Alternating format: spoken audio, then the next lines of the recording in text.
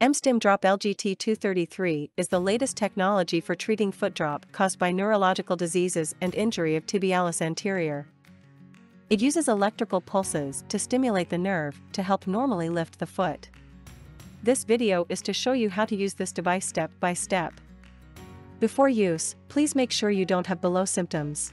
Consulting your physiotherapist or GP first is recommended. Charge your unit first.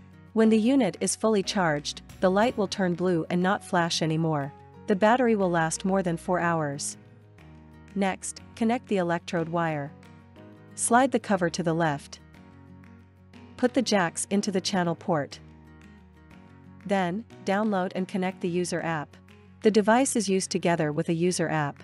You can search MSTIM Drop on your phone's App Store to download, or simply scan the QR code to download. Open the app MSTIM Drop. For the first-time users, you need to register first. Then connect the unit to the app. Long press the button to turn on the unit. Enable Bluetooth of your phone, click the image on the top of the screen and, and click Start Searching to pair the unit. After that, apply the unit to treat foot drop. Wipe the treated area using alcohol or soapy water. You need to make sure the skin of the treated area is dry and clean. Remove the plastic films of the pads and then place one pad on peroneal nerve and another on tibialis anterior. Then attach pads. The unit is small and wearable. Put the device into the holder of the knee brace. And then wear it below the knee. Last, choose the mode to start the treatment.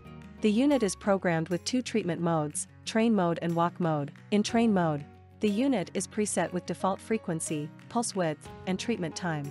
You can adjust them according to your needs. You can also adjust the ramp-up time, hold time, ramp down time and interval time of electrical stimulation to make the treatment more comfortable and suitable to your condition. Click Start to get the treatment started. Then you can adjust the intensity, once the treatment session is completed the device will automatically turn off or you can press stop on your phone to stop the treatment anytime. If you find the current parameter setting provide you with the most effective and comfortable treatment and want to use the same parameter setting for next time's treatment, then you can save the program to favorites. Click the icon on the top left, you can find the program you saved. Click enter to treatment and start to start the treatment directly. Train mode is to exercise your muscles to improve dorsiflexion and reduce weakness. In walk mode, adjust the frequency and pulse according to your need or just use the default parameters. Choose the foot you are to treat. Click Treatment of Debugging and set the current output to calibrate the sensor.